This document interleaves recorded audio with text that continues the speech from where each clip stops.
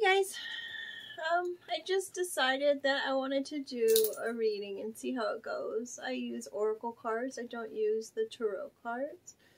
Um, this is a, a deck that I got um, just this week, and it's called the Creativity Oracle.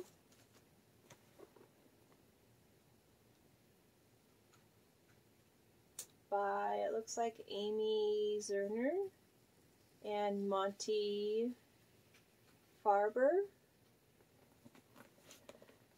This um, deck actually comes with like a huge, like a book. And the, um, the artwork on here is really pretty.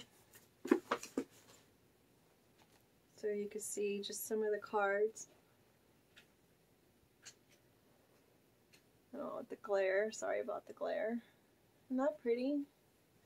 This one is called Preparation. I guess I'm not very prepared right now, am I? It's really pretty. So I'm going to say, what do we need to know as far as the collective? What do we need to know?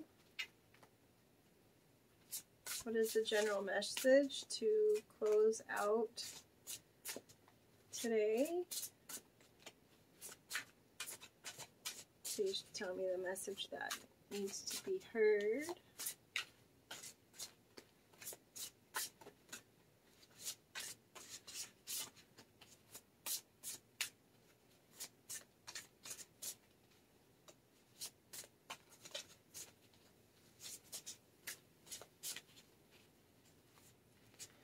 Oh wow, that one's really pretty with the cats.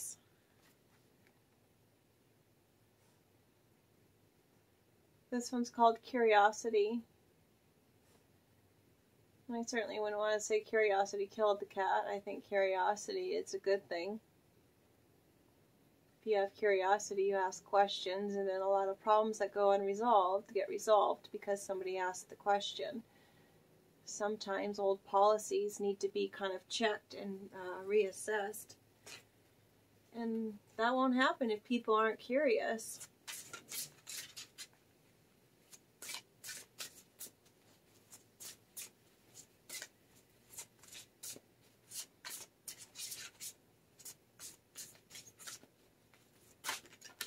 Oopsie. All right. We got a few. Interesting. So, these are the cards we got. This one is called Wounds. This one is called Capable. It almost look like there's like the flag up in here. Now then this one is called Cycles.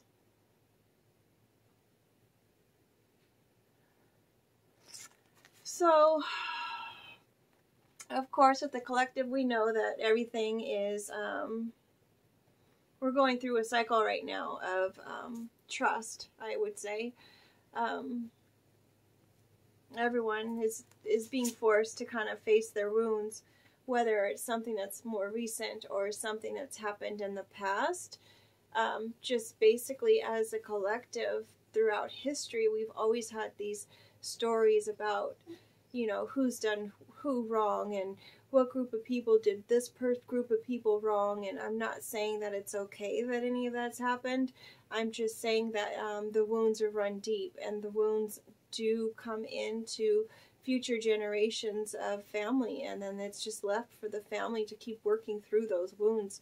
Um, it's i mean it's been known through history that a lot of times people will share stories through um, verbal storytelling to share those stories down the line with their their next of kin and their next generation. And through those stories we also share those woundings. And of course the children who are hearing these stories are going to are going to be um, upset or angry at the wounds that their ancestors have have um, have had to deal with, obviously. But then on the more of the independent level, we all have our normal our normal wounds that happen to us one way or another, regardless if it's something that we decided upon ourselves or if it's something that we were kind of just born into, or um, we're just suffering the consequences of our parents' decisions. And of course, that causes wounds that maybe we didn't even know we were dealing with. Um, sometimes we're just told to like suck it up, or you know, you want to cry, let me give you something to really cry about which is just so sad if you think about it because if someone's crying they're obviously hurt and who wants to be told just to be quiet that's horrible so in order to end this cycle that we keep going through with our woundings. We have to take responsibility for those wounds regardless of how they got there regardless if it was something you were born into regardless if it was something that was shared with you and it was something that kind of set hard on your heart about regardless if these are things that your own decisions have taken um, taken hold of and created problems and woundings for you that caused you to maybe make decisions differently than what you would have, regardless if you would have had a clean heart or a, a healed heart per se. Um, so this is basically telling us that we are all, all capable. That's what this card is.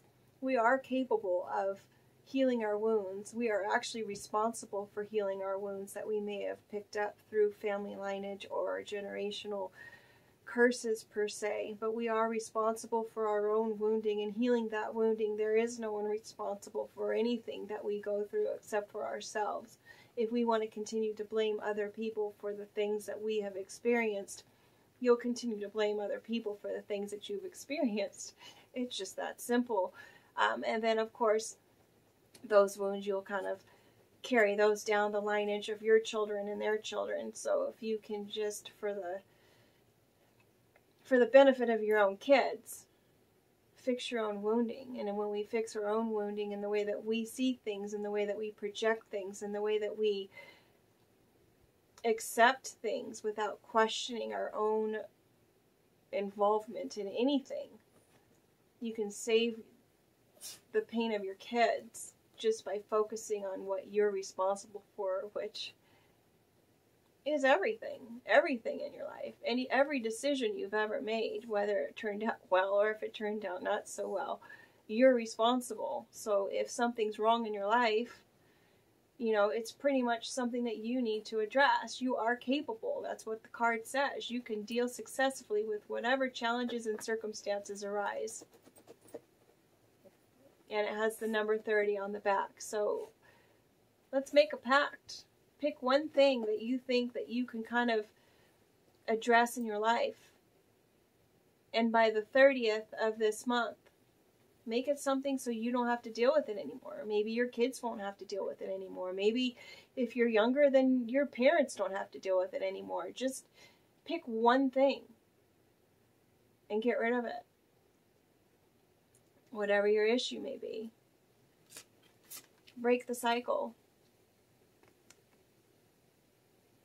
Break the cycle. That's what this card is. It's cycle. The wind blows, the wheel turns. We go through cycles just like nature because we are a part of nature.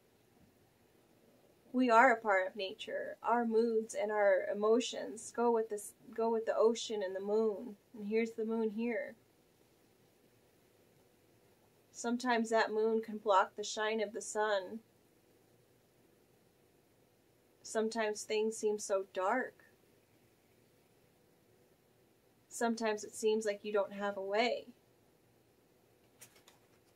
Sometimes you just need maybe one or two little things in order to get your wounds healed. So what do you do?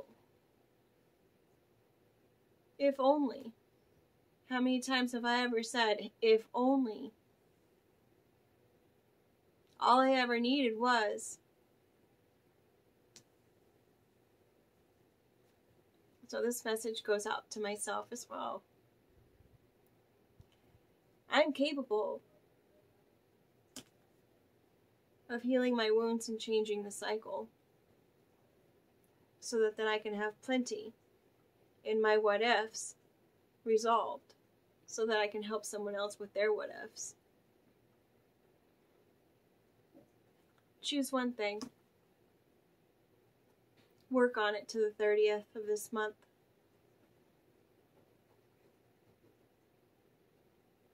Do it for you. If you don't want to do it for you, do it for your children. They need us to be whole. Especially now. You can do it. I know you can. Well, thanks for spending the time with me tonight, and um, thank you for letting me do this with you. Take care.